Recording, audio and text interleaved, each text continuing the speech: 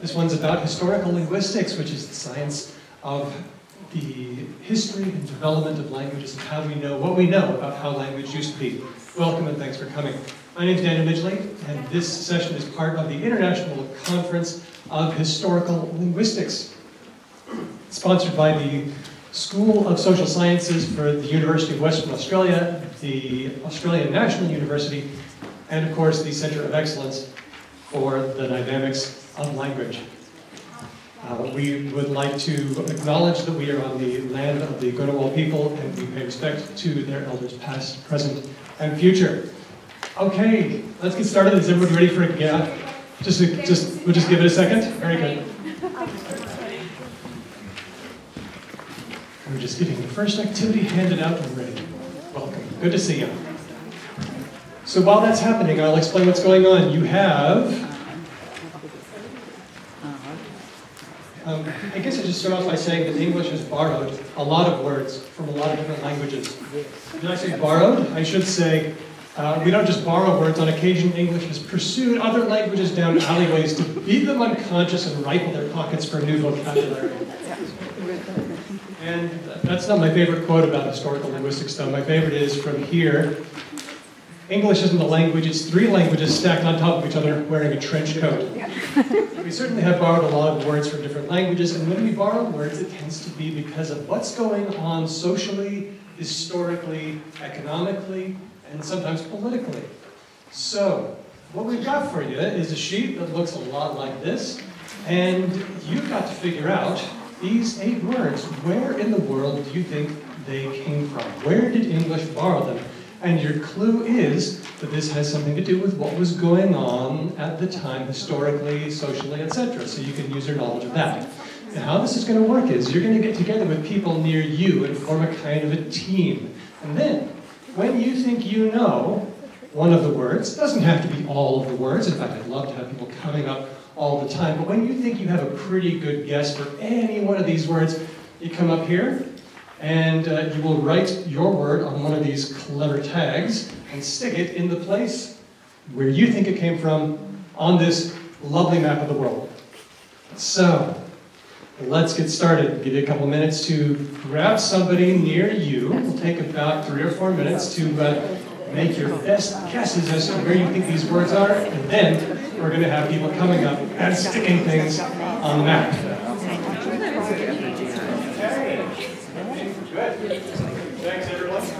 guesses. Now it's time for some answers. You ready for some answers? Yeah, you ready? Yeah?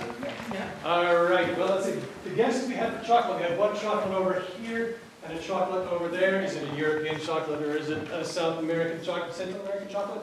It's a Central American chocolate. That's right. This comes from a Nahuatl word.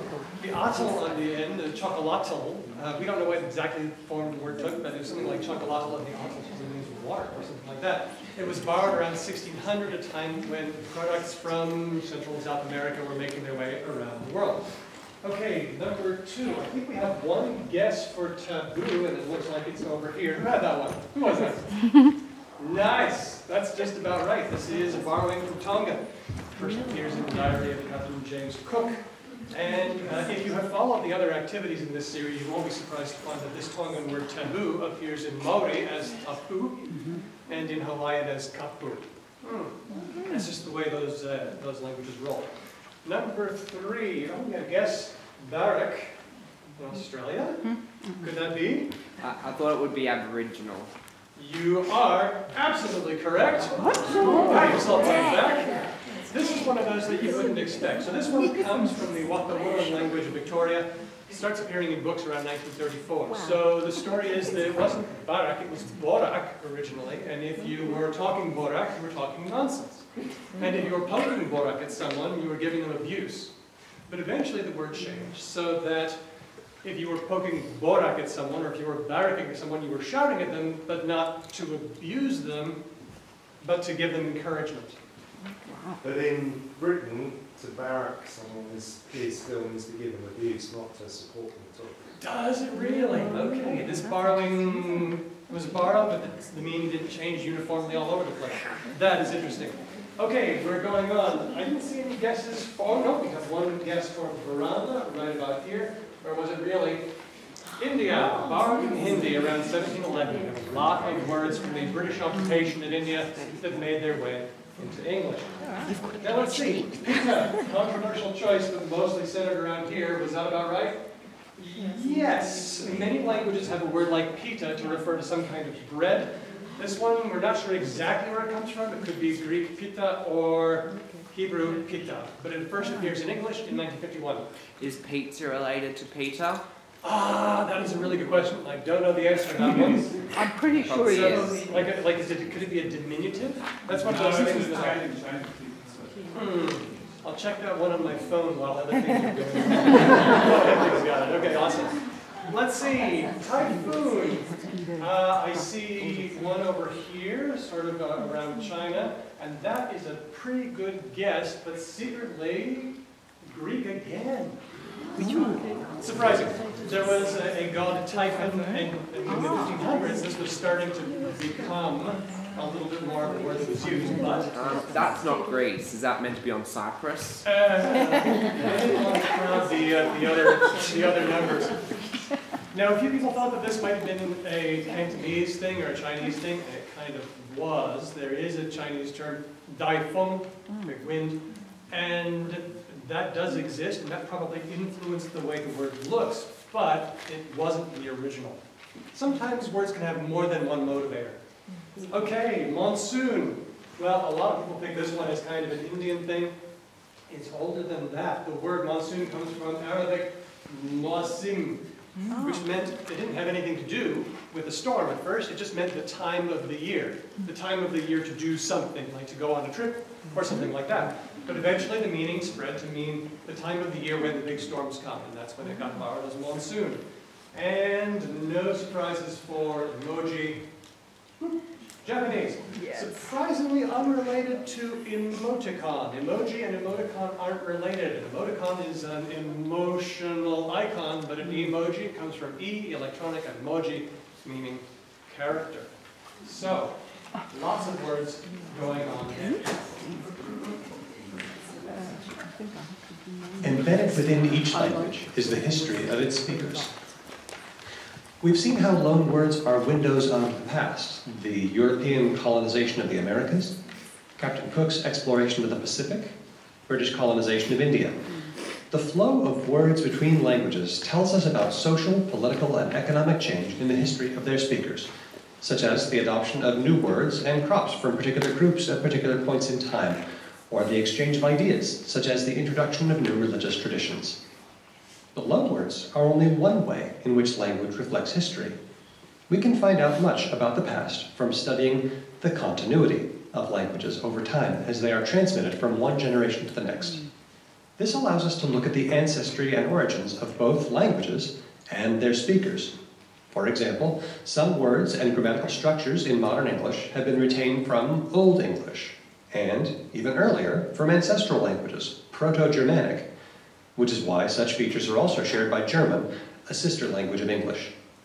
To study continuity and change, we can use written records, but for most of the world's languages, they don't exist. So, linguists compare today's spoken languages to reconstruct history. Let's take a look at how this is done. Will that be? Will that be? I'd be very pleased to hear from Mary Walworth from the Max Planck Institute for the Science of Human History. Okay, cool. Is that okay? Yes, let me just unmute you. Okay, good. Hi, I'm Mary, um, and I'm a historical linguist who works on reconstructing the history of Pacific Islands through language.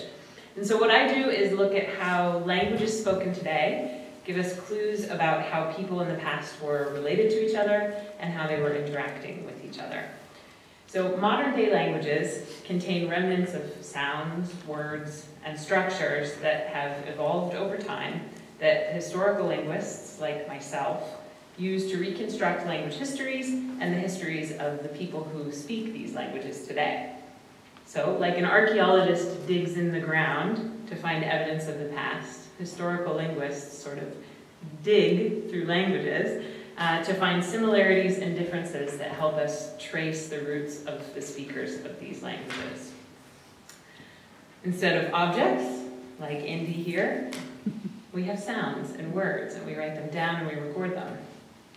And instead of digging for skeletons or stone tools or pottery, we record. So let's look at some examples from oceanic languages, the languages that are spoken in the Pacific, uh, in the islands of the Pacific. Let's look first at the number five. Um, across many languages here in the Pacific, something very similar emerges, as you can see.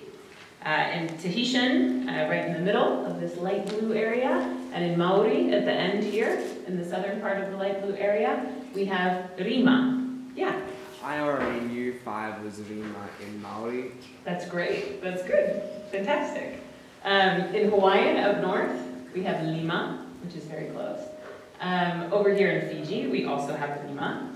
In Micronesia, this area that's sort of purple, we have some languages that uh, represent five as lima and some as nima. Um, over here in New Britain, in the yellow area there, we have lima again. Um, and in North Vanuatu, in this orange space, the first one, line, very similar, not quite the same. And then uh, down in New Caledonia, again in the southern part of that orange area, is nim. So these similarities allow us to trace a common ancestor between these languages, a sort of a great great grandmother language, which we call proto-language. And here it's uh, Proto-Oceanic. And based on the forms of these similar words, uh, and what we know about the different sound structures of these languages today, uh, we can hypothesize what might have been the word in the proto-language. So in this case, we have Proto-Oceanic. We can hypo hypothesize that it was Zima.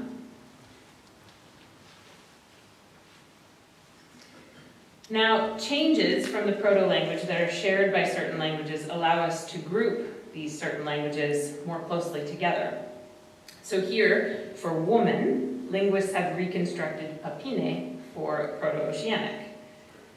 But if you look at all of the common words for woman throughout the Pacific, it's easy to see that they relate to this word. You can sort of see some strong similarities even just by looking without knowing anything about the sound systems of these languages. Um, we have Vavine in the languages of North and South Vanuatu, there again in the orange. We have Faifine in the languages of Mi Micronesia, up there in the purple. Uh, in this area, which is supposed to be a little bit further, the line's supposed to be a little bit further into Samoa, we have Fafine in Western Polynesia. And then in the rest of the Pacific, the Eastern Pacific, in East Polynesia, we have Vahine. So these differences in the development of the sounds allow us to separate some of these languages into groups that are more closely related than to the others.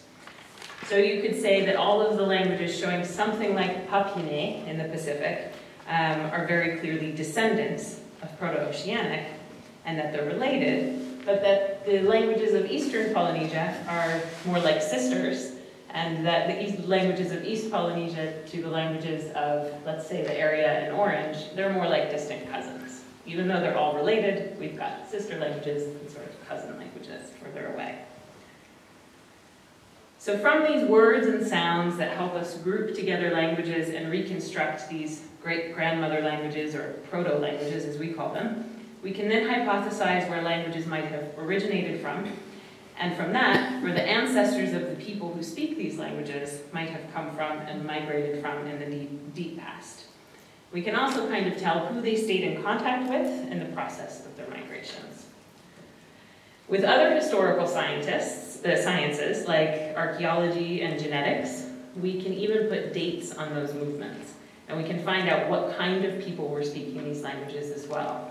And that lets us sort of create a big, whole, complete picture and snapshot of the past. So here in this map, uh, we can see that speakers of languages in the Western and Central Pacific came there about 3,000 years ago, and we know that based on the archaeological record, and that speakers of languages in the Eastern Pacific came there about 1,000 years ago. So that's what we can do to reconstruct the past. Thanks.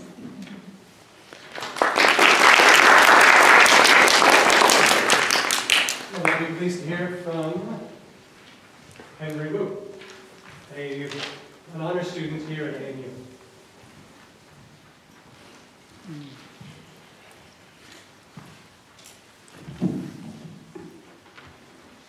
So, let me just use this thing. You can use that, or you can use this. Let's use the. Okay, yeah.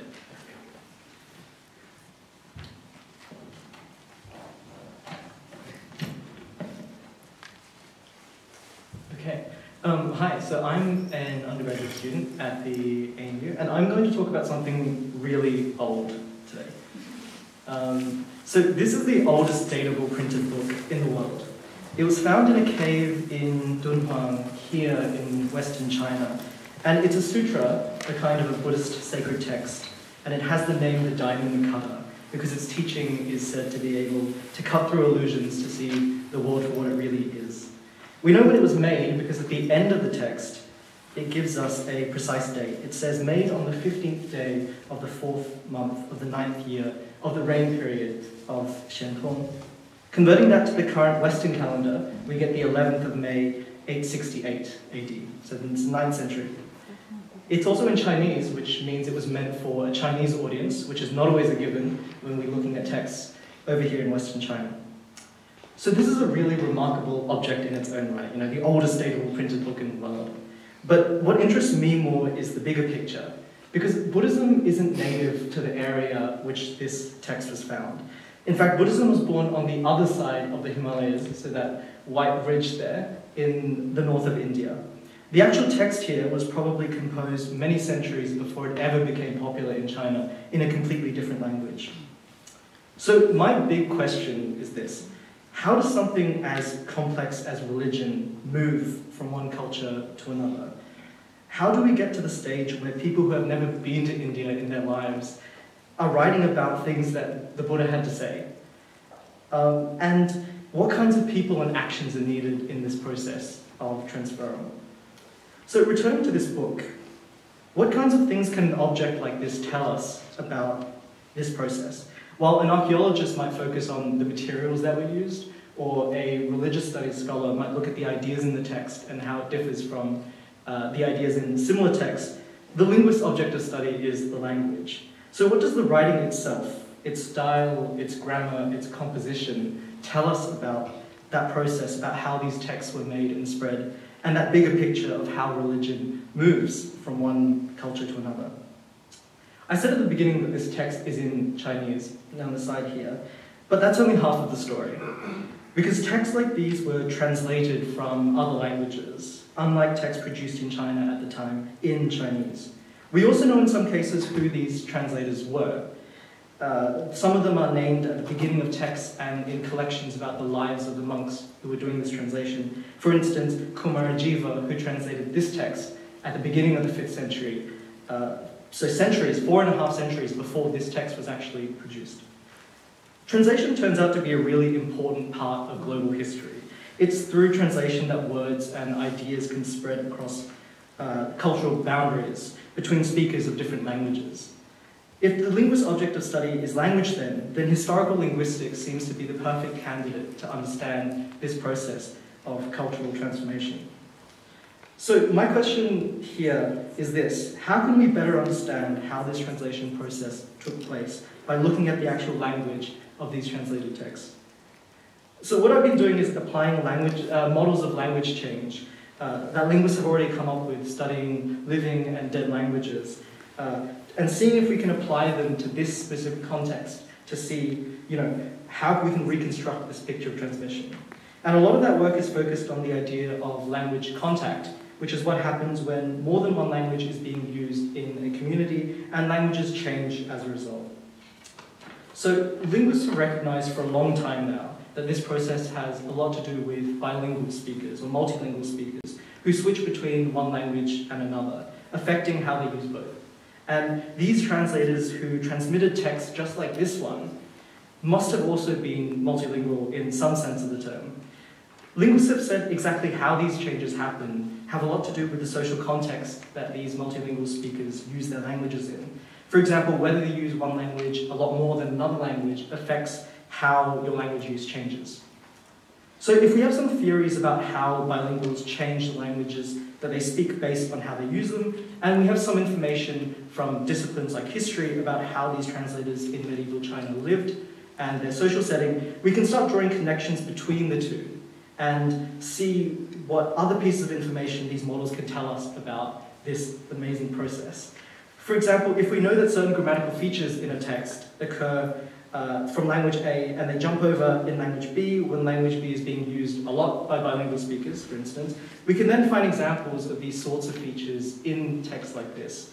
And we can start building a picture of who these translators were more precisely, what social settings that they were working in, and those details are really crucial in understanding that bigger picture of how exactly Buddhism was transmitted from northern India to China. There's so much more I could say about these texts, and hopefully I've shown here that the application of linguistics to this case study can shed light on the details of the human past. I still think there's a lot more work to be done, and I think there's a lot more collaboration to be made between people like linguists and historians. But hopefully, we've well and truly made a start in uncovering more about a really important period of history. And like a diamond cutting through illusion, we can finally see what the past was really like. Thanks.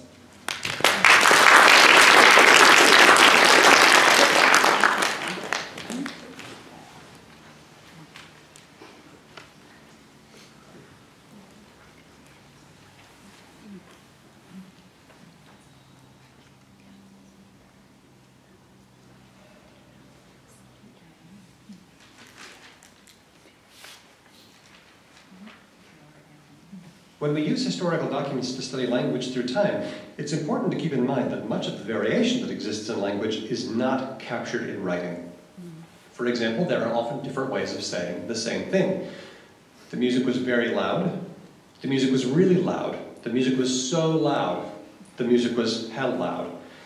but we probably wouldn't use all of these in writing. Whenever there's more than one way of saying the same thing, there is the potential for language change.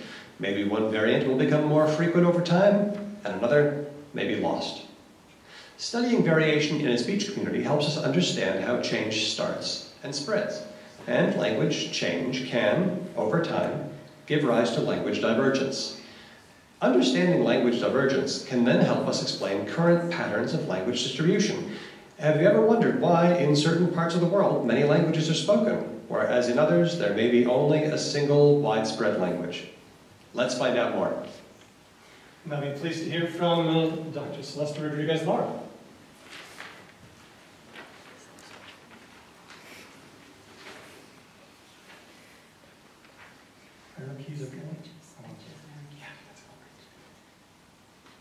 Do your parents or teachers ever complain about young people staring at their smartphones all the time?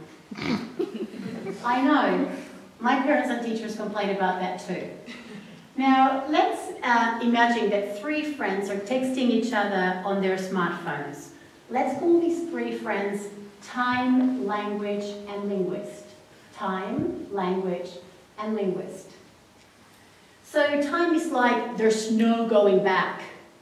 And language is like, huh, I am bloody hard to catch. So linguist is like, lol, you two, don't panic. I have an idea. Real and apparent time. So what's this conversation about? Well, to begin with, there's no going back into the past. That's simply a fact. Secondly, when language is spoken, the actual sound bites are ephemeral. They are difficult to catch. Unless you secretly record every single conversation you have, which would be entirely unethical and very, very weird. So how does linguist study the way language was used in the past? How does linguist study variation and the way in which variation may sometimes lead to change? Well, linguists has two main ways to do this. And these two ways are crazy popular in the field of language variation and change. The two ways are known as real and apparent time. And they are very useful when the time depth is shallow. So we're really talking 200 years or so. Real time is about studying language within a single speech community at different points in time. So let me tell you a story. A few years ago, I was really keen to know how speakers of what we may call mainstream Australian English were doing storytelling. I wasn't able to travel back in time, obviously, but I did get in touch with folk at the State Library of Western Australia who told me about uh, their oral history collection. I then did some research on their collection, and this was a real-time study because the actual oral histories were collected at different points in the past.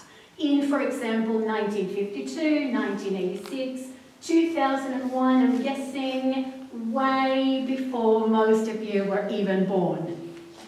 Now, apparent time refers to the apparent passage of time. So what you do is you compare speakers of different ages in a single speech community and for it to be apparent time, you need to do it at a single point in time.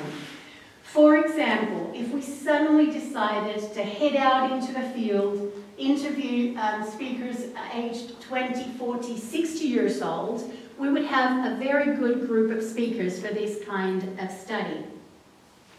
We would be able to compare how different generations use language at a single point in time. And what you're really comparing is what language was like when these people were acquiring it.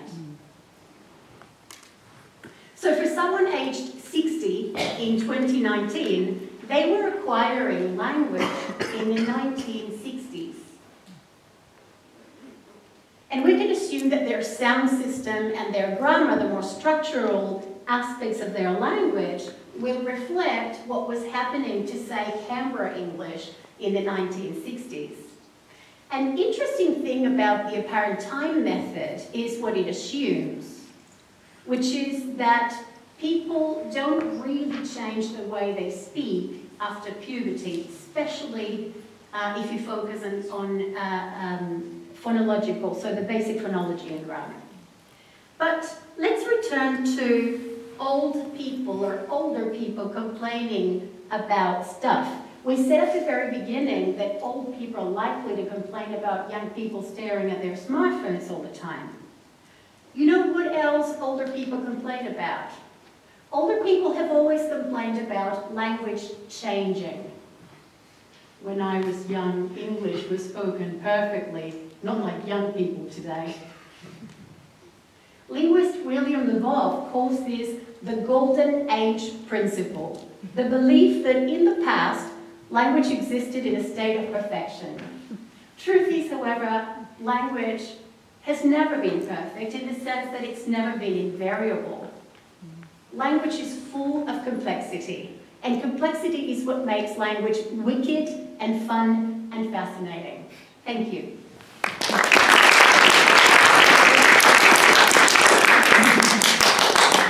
We now invite to the stage Professor Nick Evans, Director of the Center of Excellence for the Dynamics of Language. Thank you. Um, so it just goes up down there was good.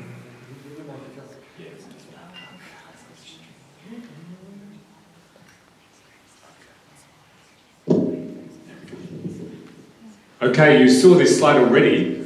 Uh, it comes as a surprise to many people. There's 7,000 languages in the world, but they're not distributed at all evenly. And this, is, this maps the gross linguistic product of, uh, of countries scaled to the number of languages that are endemic to them. Biggest country in the world on this measure is Papua New Guinea, just to our north. Of the world's 7,000 languages, it has about 800. So this is about more than 10% of the world's languages in that, in 1% of the land's surface, but it looks bigger here. And then just west of that is Indonesia, which is number two. And you can see that our part of the world is actually a huge um, part of the world's linguistic diversity. So the question is, why? How did, how did that happen? Let's look at New Guinea in a bit more detail first. There it is, like a big bird, with the head to the northwest and the tail to the southeast, and a fat belly nearly touching Cape York. And on that one continent, uh, sorry, that one island, not only are there about 1,000 languages, but they group into about 80 families or isolates, which is a language like Basque you can't relate to any others. And there's about as much linguistic diversity on that 1% of the world's land surface island than there is in the whole of Eurasia, from Japan to Ireland and from northern Siberia to Sri Lanka. How can we understand something like that? And surprisingly, there's much more diversity in New Guinea than there is in Africa, even though that's the home of humankind and would be expected to have had more time to communicate diversity, to accumulate diversity, just as it has, has more genetic diversity. Now, when you talk to someone on the street about this, almost everyone thinks they know the answer. They think, oh yeah, people are up there on isolated mountain tops and they never talk to each other and you know the languages gradually drift apart. Just as in uh, Polynesia, you heard Mary talking before, and people think, yeah, they go out on different islands and they stop communicating and their languages just drift apart. But when you look at what happens, here uh, to the uh, left is the topography of the highlands with its scary, uh, uh scary bridges thrown across deep chasms. It really is hard getting around. Uh, there's some more of it. And here in the north is the flatlands in the south where going from one village to another, going across a language border like the one between English and Indonesian, say, is like walking from here to the O'Connor shops. And in this little group of, of guys here with their, their, bikes, that's the main highway, um, are speakers both of Nen and of Idi, two local languages. Uh, in fact, all of them know both. So it's not the case that it's isolation producing diversification. Rather, it's contact. As we, as we heard about from Henry, uh, contact can produce all sorts of interesting effects. Let's look at some of them. One that you probably think about often is that it can produce pidgins and creoles. Pidgins happen when people are just striving to bridge the communication gap with no common starting point, both sides simplifying their language and ending up with something uh, that's a sort of boiled down, stripped down language. Uh, but things can go the other way. You can get complexification as lots of, of memes or ideas from two or more languages get pulled in together. If we think about names for musical forms, in English we've got song, but we've also got chanson, we've got lied, we've got a, a lot of other uh, names for different song types uh, if you, you know, study different types of music. Uh, but in French, chanson is just a, a, song. If you, if you say in English, it's probably something like you might associate with Edith Piaf or, or someone. Uh, and likewise, Lied you might associate with the music of, of, Schubert, but in German it just means song. Going the other way, the English word song has entered German, but it means a rock song, not just any old song. So as we bring in words from other languages, we're enriching our semantic palette. We, we can paint the world with a wider range of colours thanks to uh, these extra words we're borrowing in. And that doesn't happen just in the realm of words, happens in the realm of sounds, in the world, world, realm of grammatical structures, and so on. So we can do some pretty nifty things in linguistics, uh, and one thing we can do is just to look at basic words, I and you and he and she and him and his and so on, and see what goes together. And if you ever subject yourself to the agony of learning another language and making mistakes, you know that these don't always line up. So uh, when, as an English speaker, I uh, go to speak Nen, which is a Papuan language uh, in a part of Southern New Guinea where I work, and I might say, he saw him in English and happily uh, speak Italian and just reproduce the same structure. Lui lo, vede uh, in the past tense. He spoke, lui parlò, you can see that just as he is the same in those two cases, and lui in Italian is the same in those two cases, but in Nen, I have to split them up. Uh, so Yaman is he doing something to someone else, what linguists call the ergative or a, and ba is he just acting without regard to someone else. And even worse, the ba in he spoke is the same as the him in he saw him. So you cut the world up in a very different way. And that's what I've shown there with the colours. And these uh, little graphs here compare Latin and Italian at the top, and you can see, without going into the details, that they haven't changed much.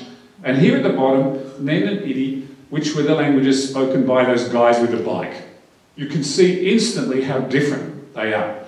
Even though not just are these villages only 10 kilometres apart, but actually the languages are spoken one centimetre apart in a marital bed because people uh, marry each other across the languages and use the languages day by day in the same household. So even though that's happening, the languages are stubbornly uh, retaining their structure, and when we look uh, more closely, you can see that um, they're actually, you know, borrowing interesting structures, and each one is becoming more complex thanks to input from the others. And here we've got a, another uh, type of graph that we call a neighbour net, which you can use to measure the structural distance between things. Here, the structural difference between those nice paradigm pictures I put up before, and you can see the little purple ones down the bottom left uh, represent Nen and its, uh, its mates, the other uh, sister languages of it, and up there in the top right, the green ones are Idi and its uh, brother and sister languages, and then lots of other languages. You can see that despite being so close, they're very, very different in terms of their structure. Another thing that can happen when languages come into contact is that you can actually produce a new language. Sometimes these are called mixed languages. And what happens here is you build up structure, taking some from one, some from the other. Now, you need to have a very special uh, set of circumstances for this to happen. Basically, you've got to have a couple of languages spoken, and people in an emerging generation who hear their parents and others moving back and forth between two languages, what's sometimes called code switching, grab bits and pieces out of the two and forge a new language which has elements of both. As if to say, it's not just that I'm Australian or Chinese, but I'm Australian Chinese and I'm proud of both elements of my identity, and here they both are. So this is a language called Gurindji Kriol, uh, studied by Felicity Meakins, and we heard her talking about uh, this language this morning in, in our conference. And Gurindji is a traditional Aboriginal language that's shown in orange, all the elements, both words and grammatical elements coming from that. And Kriol is a sort of pidgin ultimately coming from English, but with some changes. So like then it being gone from then it being gone or something, with a lot of change over 100, 100 150 years. So the crucial thing here is if someone says a fish jabbed her in the, ha- in the hand, and, and you say, uh, Yawango ibn Turpin Waran, uh, you can hear some words like im uh, in ibin, which come from English, and others like Yawango, which doesn't only have a word fish from Gurindji, but even has a suffix ngu, just like in Nen saying this is what does, uh, this is something that does something to someone else. Uh, so that's a structure that's a very non-English like structure, but has carried through into Gurindji Kriol. So this is a, a very special uh, type of outcome of language contact, and it's one of the things that gives rise to new languages. So I will uh, leave uh, this very interesting issue here, but just emphasize in, in doing so that all of this comes from actually getting out there in the dirt, in villages, in communities, sitting in the shade of a tree, talking to people and recording them. That's where the information is, where we need to understand these things Uh, it's a lot of fun doing it. You get to meet some incredible people and crack some uh, wonderful puzzles in doing that. And I hope that some of you will want to join linguistics and hear the world at some point in the future. Thank you.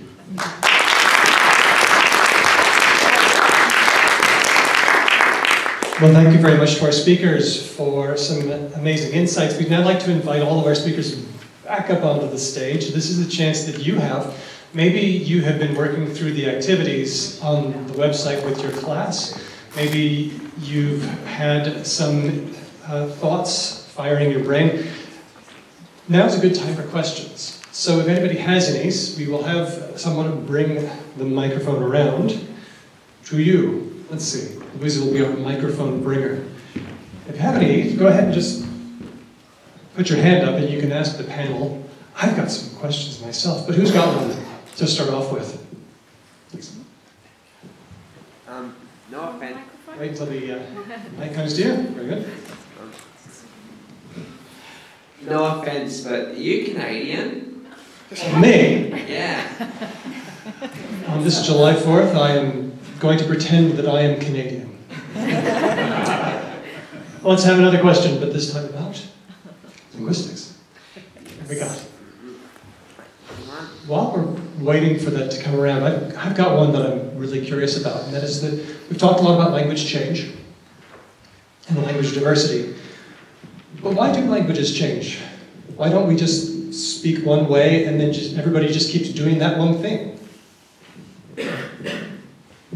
Well, uh, the first thing that comes to mind is identity. Uh, language is very much connected to a sense of self and not just as an individual but as a community.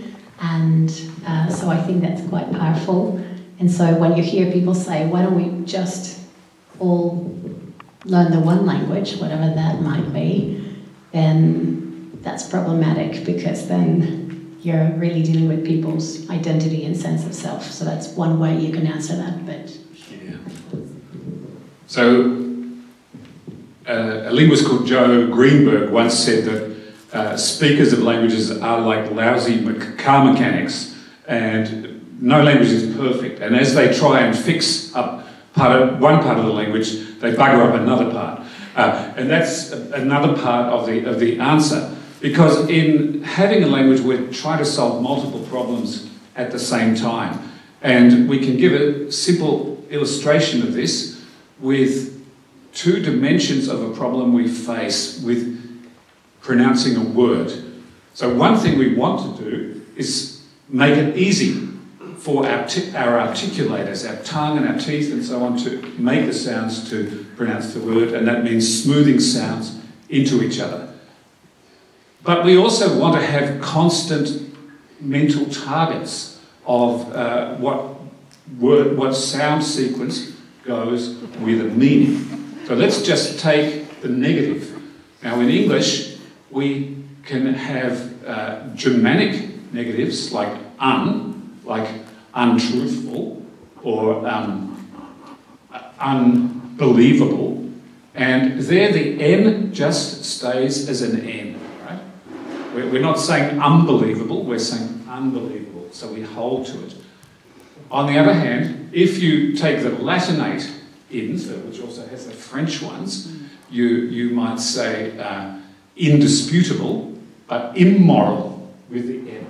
So you're resolving it in favour of ease of articulation. And if you go out to look at uh, Italian or Latin, they always resolved it in favour of ease of articulation. Uh, German always resolves it in favour of what linguists call faithfulness. You just keep to the form of the word and you don't change it, right? Uh, and English is an interesting mix depending on where the words come from. But it's that tension between rival solutions, none of them works all the time, that jiggers languages so that there's different forms floating around, and then for these identity purposes, people seize on one form or another to say, hey, I'm someone who does this, I belong to this group. So that's one of the reasons why languages change. Sure, I'll also comment on that. definitely has to do with identity, but also when languages come into contact in the past and, and the recent past, you've got, you know, maybe two very different languages coming together in one family, and mom speaks one thing and dad speaks another, and then the child growing up in the house might speak both languages or a combination of those languages. And as a result, you might, a few generations later, end up with a completely different language that's a merger of the features of, of both of those other languages. So you end up with a little bit of language change in that way as well. Yeah.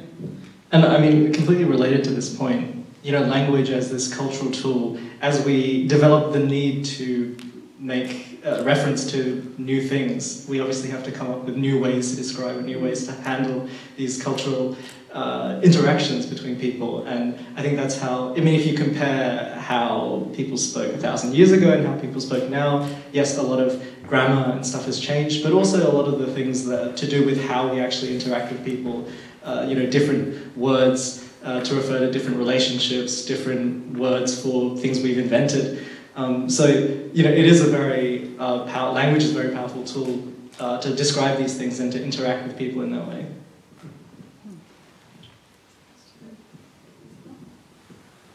Uh, basically, you mentioned that Papua New Guinea had a thousand languages and then now maybe 800 still there. I just want to know, over a period of last 200 years, did the languages, languages thousand Yeah. to reduced or they increased? Are they, do they have a script for all these languages? Yeah. of? No, uh, the- I used two different words, but they probably flew past because I was talking too quickly. But uh, when I said Papua New Guinea, I was referring to the modern nation state, which occupies the eastern half of the island of New Guinea, whose western half is part of Indonesia politically. So the, the larger figure of a thousand is for the whole island of New Guinea, uh, and the smaller figure is for the country of Papua New Guinea. So, so Papua New Guinea is losing some languages, but not, not many and not fast. One over this side. Dick, is it a linguistic question? Yes. Okay. We can keep it to, Then there's another. Dick, can you pass it down first and then come back? There we go. Do we know how languages are created and changed and who by, like the youth or the elders of people? So who, who changes? Who's doing the change? So you're asking who drives change forward? Yeah, that's a very good question, actually. Um, so this is changing all the time, but the the most strongly supported position is that it's young women, at least at the very beginning of change, when it's taking off. And for some changes, including the use of like, which I'm sure some of you use like all the time and some of you complain about. um, so, for that particular change, for instance, you see that males tend to take a little bit longer to catch up with the women, but that's for this particular change uh, that I'm thinking about, and also for white Australia. It doesn't really apply to other varieties of English, including Aboriginal English, that I'm doing research on at the moment. So, you know, just, but it's generally young women. So I, I think that what Celeste has said reflects the fact that a lot of the detailed studies of language change have come from urban, mainstream Western societies, and that work we're doing in Papua New Guinea and elsewhere at the moment, and Vanuatu also, is suggesting that's not always young women. Uh, it's sometimes even old guys uh, who've accumulated a lot of lang- languages in their lifetime, and then you have young guys hanging out with the old guys in, say, in Nakamal, in Vanuatu, and wanting to sound like them, and the middle-aged men and the women aren't sounding like them. So uh, it's, it illustrates the thing that not only do languages differ a lot from society to society, but it's possible that the processes of change and where the action is in terms of language change is different from society to society. But probably what's true in all of these cases is it's not committees, it's not official bodies, uh, things like the Alliance Française or you know parents or teachers or whoever who are driving the change. It's coming from below like a swell and uh, there's very little anyone can do to, to regulate it. You, you, you- it's like having very bad brakes on a very fast car. You know, sometimes it has a little effect, but not very much. Just on that, I think, I think you're right, but also I think that it's, it is the young people who eventually, even if the change comes from, it is the young people who eventually make the language change, so. Just experiment and try to do some language changing. I mean, uh, from a contact perspective, so this is when uh, you have multiple languages being spoken in the community. A lot of the time it's bilingual and multilingual speakers who introduce a lot of changes by, uh, you know, having one feature being brought into uh, the language uh, and having change happen that way. And I think it's really important to remember that language change, uh, when we talk about language contact, so when two languages come together, it's the speakers of those languages, and specifically uh, bilingual speakers, often young speakers, but bilingual speakers generally, who have it in their brains, have the language in their brains, and that's how uh, language ultimately changes from the individual and then it builds up to the societal level we are going to need to leave it there. It is possible, if you have time, to come down and ask questions to our panel. But uh, for now, let's thank our speakers.